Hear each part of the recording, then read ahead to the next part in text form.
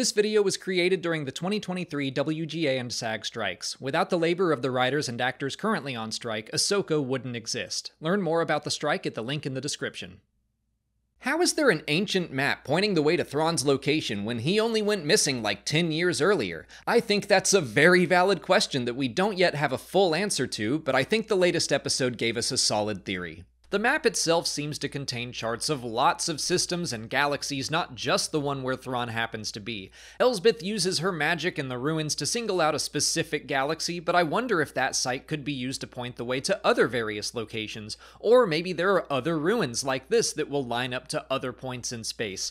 Baylan calls the site a reflex point, so maybe there are others across the galaxy, but the important thing about this scene is that Morgan aligns the map and the ruins up to a galaxy surrounded by crude illustrations of Purrgil. Those are the creatures that we have seen in The Mandalorian and Ahsoka, and in Star Wars Rebels, they were instrumental in Thrawn's disappearance. In the series finale, Ezra summoned several of them to attack his fleet and used their natural abilities to access hyperspace to jump Thrawn's flagship to this new, far galaxy. My theory is this the galaxy Morgan is searching for may be the origin point for the Purrgil. Maybe they were from that galaxy and traveled to the main Star Wars galaxy long ago, but whoever made the map knew where they originally came from. The most recent episode discussed the Purrgil further, saying that long ago intergalactic hyperspace routes were charted using their migration patterns, so the map might simply be that, not a map to Thrawn specifically, just a way to chart a path to where Morgan thinks he will be. I think Morgan knows how Thrawn went missing and is following the best lead she has.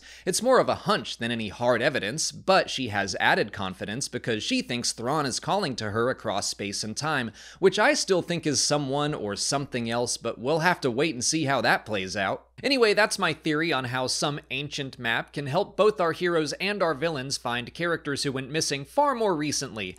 Let me know what you think of it, or if you have your own theories, leave them in the comments. If you haven't already, please like this video, subscribe to the channel for all our Ahsoka coverage, follow us on our socials, and consider checking out our Patreon page. As always, thanks for watching, and may the Force be with you.